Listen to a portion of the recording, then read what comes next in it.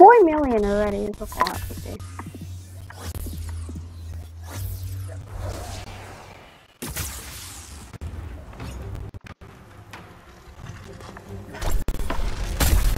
Holy crap, 20k already? I'll take that. Okay.